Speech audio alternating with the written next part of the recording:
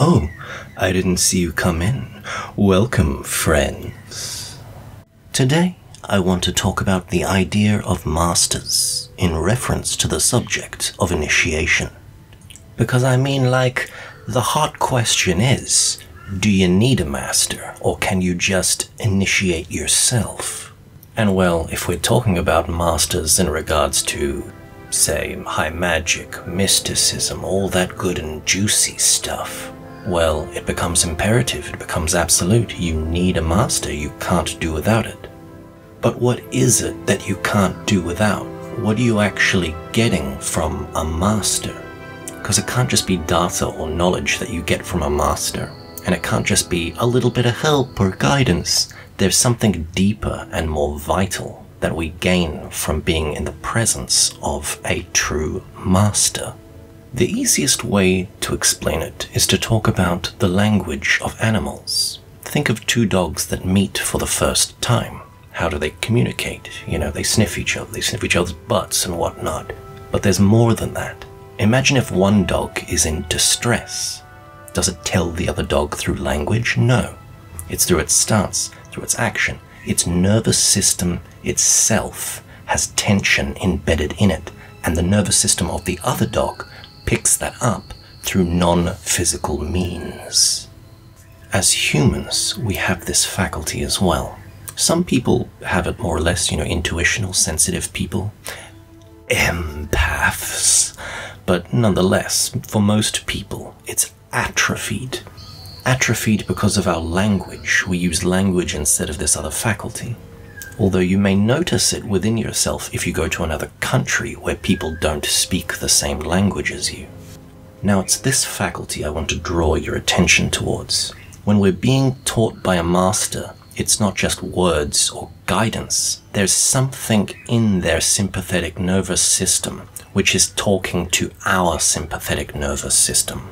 Their body to our body. There's something direct going on fundamentally, the master is imprinting you with a new pattern of being. There is something in you that begins to mimic their energetic structure. And remember, matter or structure and energy and consciousness are all intertwined and interconnected on every level. So then it begs the question how do you do this without a master? Can you even gain the energy? If you do gain the energy, can you even hold the energy within yourself properly for long periods of time? If you transform the energy, will it transform correctly? Will it move in the correct way? Or will the energy become stagnant? Will your structure become warped? Is this the danger of working without a master? And if this danger is real, and you don't have access to a master, what do you do? Well, I guess that's it for this life then. It's all a waste. Unless. You see, here's the thing. When you look at history, both East and West, you see people, you see masters just popping out of nowhere. People who are initiated by God, or by angels, or by bodhisattvas in the astral realm or something. This leads one to wonder. You need a master, yes, of course, but does that master need to be human? Okay, so here's what's up. When you look at the Western tradition, what do you see? Like when you look at Grimoire magic, what are they actually doing? Well, they're all trying to summon angels. But when you look at the pagan precursor to that, what are they all doing? They're all trying to summon and work with gods. And not just work with or befriend, they're trying to become like them. So, could a path that uses ceremonial magic be a way around not being able to have a master? Perhaps, but let's look at this issue more closely. We don't want to be huffing too much copium. First of all, when people work with, say, the planetary angels, you know, they read a grimoire or they read a magical book and they start doing the invocations and nothing happens, why do they fail? What is the magical mechanism that's failing here? Fundamentally, it's the Magus themselves that's important. Basically, there is some internal work that needs to be done by the Magus prior to this ceremonial operation.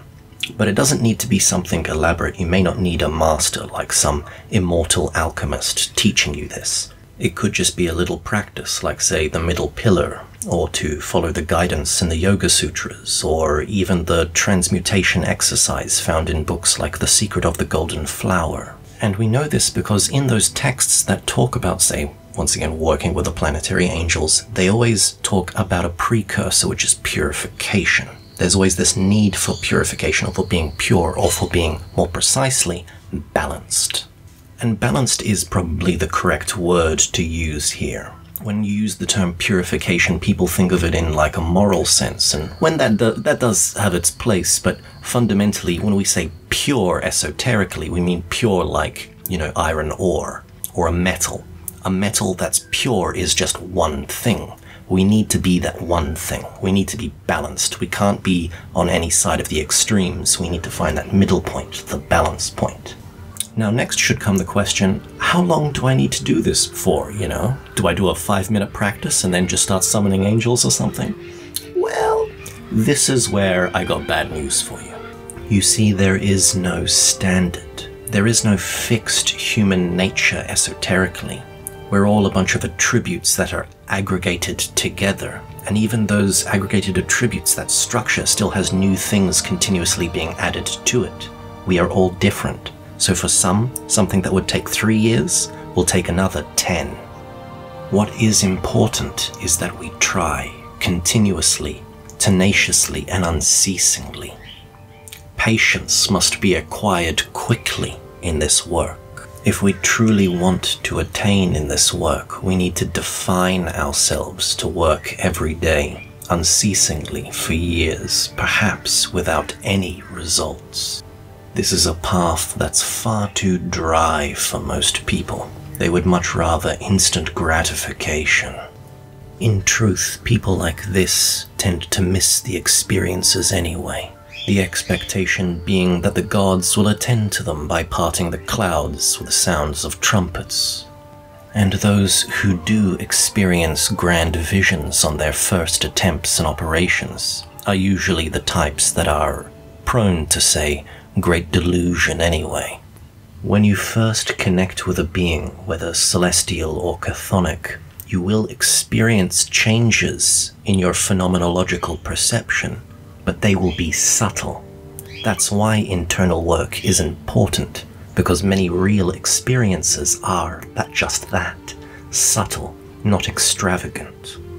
And it's not even the visions or any voices you may hear that are important. What's important is the lingering feeling, the connection that stays with you after the practice is done. This, in a nutshell, is the art of theurgy to connect with higher forces and then to bring them into your daily life. And after all, they do say that your personality is basically a mixture of the five people you spend the most time with. So, it makes you wonder if you spend the most time with angels and gods and celestial beings, what will you become? In conclusion, we work with gods, angels, and ascended masters not for good fortune or protection, but to request that we become like them. Thank you for listening, my friends, and may the stars themselves stamp the seal of initiation onto your hearts.